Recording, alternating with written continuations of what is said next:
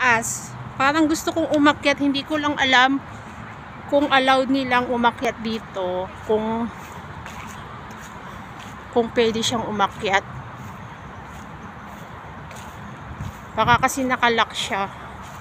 Ayan o, ganda 'di ba? Ayan, dito sa Tupayo lang 'yan. Ayan o. Wait, tignan natin guys kung pwedeng makaakyat. At least makita natin yung view mula sa taas. Ayan. Ayan guys.